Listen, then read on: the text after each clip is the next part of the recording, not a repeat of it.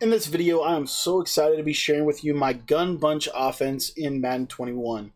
What's up guys, my name is Cody and I want to thank you for taking the time out of your day to watch this video. Now if you're new to the channel, I want to let you know that my channel is all about becoming a better Madden player in Madden 21 and I want to help you get better at this game. And so if you're looking to improve your Madden game, I want to encourage you to hit that subscribe button. It's completely free to subscribe and we're all trying to learn here in this community together so make sure to hit that subscribe button also if you want to know as soon as a video a brand new video comes out i want to encourage you to turn on your notifications that way uh, youtube will let you know whenever we release a new video all right guys so i am so excited to be sharing with you my shotgun bunch offensive scheme. Now, I actually just released my full bunch in and bunch tight end offensive ebook out of the Jets playbook in Madden 21. Now, there's two different versions of the ebook. If you want to get it, it'll be in the description. The first one, you can get the gun bunch, which is going to be uh, just the Jets gun bunch, the gun bunch offensive scheme, and that's going to be 15 bucks. Or you could get the Gun Bunch and the Gun Bunch tight end bundle, which is going to be the bunch and the bunch tight end formation for 20 bucks. So both of those ebooks are available in the description. If you want to get a free sample of either one of those, um, go ahead and shoot me a text message. My number is 208 218-6900 and if you text me by using the word Madden I will automatically send you a link to the playlist where you can check out both of the preview formations but I wanted to share with you a play uh, today from the gun bunch and uh, talk to you a little bit about why I love this offense so, so much. And uh, this is an easy, easy way to be able just to work the ball up and down the field. I want to share with you my honestly probably my personal favorite play from this offensive ebook, and that is the play Flood. Now, Flood is one of the most popular plays in Madden 21, but you might not know um, as to why that is. Well, the first reason is because it is probably the best and most simple zone beater in the entire game. Now, the adjustments we're going to be breaking down in today's video is we're actually going to take the running back on this play and we're going to put him on a smart routed option route. We're going to put the square receiver on a square little five yard out route. So the triangle receiver, which is the running back, is going on the option route, and the square receiver is going on an out route. Now, if they play zone, this is my favorite little snap throw in the game. If they play zone on the left hand side, even if they have hard flats, it doesn't really matter as long as there's no yellow zone, which is this is what makes it so good because a lot of people like to play Mabel coverage. If they play zone, you have a nice little read right in this little pocket right here to your running back right at the seam. It's such an easy mo little quick snap throw, and it makes so much. Uh, it, it, just makes so much value uh, for your offense. Now, let's say that they do pop a yellow zone over there, so we're going to pop the the the middle linebacker over there and I want to show you kind of what it looks like from there. From there, what you're going to notice is he's actually going to go about 10 yards. So if they have their zone drop set to about 5 yards on their hook curls, which is a very common adjustment for a lot of people, you're still going to be able to throw that option route because it's going 10 yards, and they're not going to have a player in that vicinity to be able to stop that.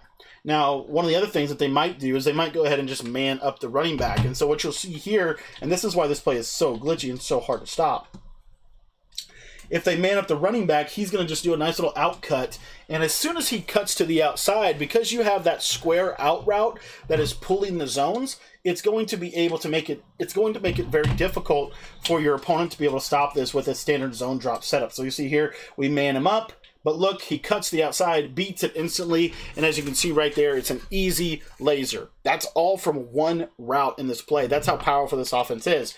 Now let me show you another route um, on this play. And this is more for someone that is running, you know, kind of traditional uh, Mabel coverage. And again, remember, they're going to have to user on this side of the field with their linebacker. That's kind of the whole point of the option uh, route combination with that little pull route.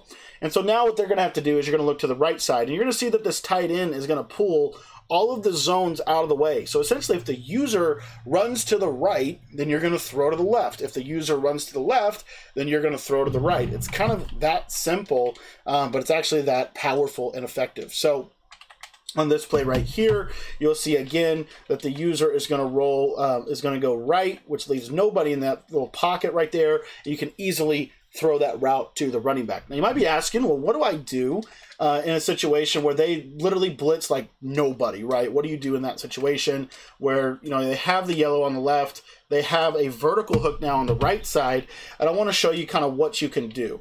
So the best thing to do is to simply be patient in the pocket. But what you're going to notice here is you can hit that route as soon as it cuts. It does need to be quick and as soon as it cuts. You're not going to low ball it because if you low ball it, you're going to be throwing into a vertical. Uh, you're going to be throwing it into a vertical hook zone. But what you are going to do is you're going to pass lead it to the outside. So you see here, we're going to set that play up again. And again, this is a max coverage, but it is important to understand exactly what you're getting yourself into. So right here again, max coverage on that side. And right on that cut, right on the break, we're just going to pass lead it uh, to the outside, and you can do that very nicely.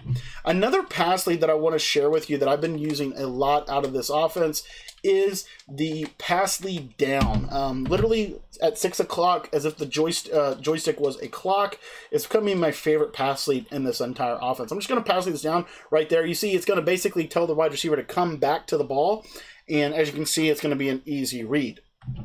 Now, um, the next thing I wanted to talk to you about briefly is just kind of a standard, um, you know, not a Mabel coverage, but more of just kind of a standard coverage and what that looks like. So just a standard cover three. So I want you to watch on this right side. If you watch this out route, you see it's going 15 yards going to the outside. As you can see, it does get open very, very easily against a five yard curl flat, which is what I'm running uh, on this on this defensive uh, play call. Now, another thing I want to show you really quickly is I want to show you, I just want to force it. I might throw a pick here, so just hang with me. But I just want to show you kind of what happens to the R1 receiver when you do let him go out. Again, that low ball right in that little pocket right there. You see it gets in between the zone drops because they most people are going to drop those flat zones back to about 15 or I'm sorry about 25 yards uh, and they're going to have that curl flat uh, down at about 10 yards. That's kind of the either 10 or 5 yards is kind of the common uh, theme that you're going to see a lot of people do. So if that guy keeps drifting you could easily lowball that and drop it right in the bucket just like that right there now, the next thing that you're going to notice about this offense, which is really, really cool, and I'm actually going to try to reset my zone drop so that they play match coverage, but this is actually going to do a phenomenal job against match coverage. You're going to see here that if, and it looks like I wasn't able to get the zone drops reset, so I'm just going to jump out and then jump back out here and show you. But let's say, for example, um, a lot of people are really, really running a lot of cover four uh, match type of coverage against this. So let me show you something like that. So we're going to put uh, cover four quarters in our audibles here, uh, and then I'm going to basically be able to go into that from the 335 normal.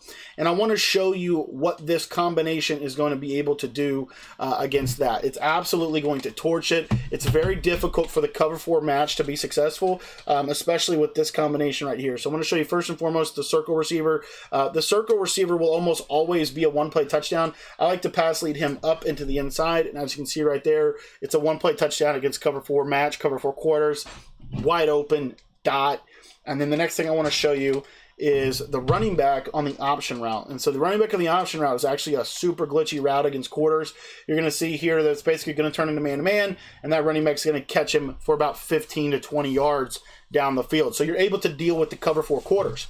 You might be saying, well, Cody, I'm, this is all you know fine and well, but how does this do against man coverage? You know, the meta is man coverage. Meta, man coverage is so hard to stop or so hard to beat consistently. How does this do against man-to-man coverage? Well, I'm glad you asked. Um, the it does a phenomenal job against man-to-man coverage. So first things first, if you are getting a lot of press man, I would recommend motioning this circle receiver to the outside. Um, and as you'll see right here, uh, that route tech on that slot or that slot receiver. You could also have slot-o-matic on him. He's going to be able to get separation against man-to-man coverage. The other big thing that I wanted to hit on um, is this route to the running back. So what you'll notice here is this route to the running back, whether they put purples out there or not, that's going to beat man coverage every single time. You don't want to lowball the, I, in my personal opinion, you don't want to lowball the option route um, because you'll see that he'll oftentimes come back to the ball. It's not what we want at all. What we want to have happen is we want it to simply be a simple option route uh, outcut. So again, you're reading your play, wait on it, and dot right there, right in front of that little purple zone. Now, if they're running the cover two uh, shaded underneath meta, and this is why I like this play so much. Let's say they're running the shaded underneath meta. Um, what you're going to notice on this, and this is why I like to use a little bit of motion to Tavon Austin if they're running a lot of man coverage. just by motioning just a little bit, if I pass lead outside and up, you see it's going to be a nice little swerve catch. One play touchdown against shaded underneath man coverage. One play touchdown against shaded underneath man coverage. And then the last thing that I wanted to show with you as far as man-to-man coverage goes, if they are running a ton of man-to-man coverage, here is a nice little setup that is really glitchy against man-to-man. You're going to put a drag to your tight end, and you're going to put an in route to your running back. This in route to the running back will almost always get separation against man-to-man coverage, and the drag to the tight end is an unbumpable route against man-to-man coverage. It does not always win, but it almost, it, it number one, it is always unbumpable. It doesn't always win, but it is always unbumpable, and as you see right there, it's a nice little check down. So you still have your your everything else that you had going for you, but now you have a couple other quick reads. So this offense is absolutely insane. If you can beat every coverage from one play, just think of what you can do with the whole ebook. This offense is absolutely unstoppable, especially when you put it together with the bunch tight end and the trips tight end offset, which we are including in the bundle for you guys. So if you want to get the ebooks, like I said, there are links in the description. There's a link to the bunch tight end only if you want the bunch tight end only. There's a link to the bunch only if you just want the bunch ebook, and then there's also a link to the combo. The individually, they're both 15 bucks. So 15 bucks for the bunch, 15 bucks for the bunch tight end.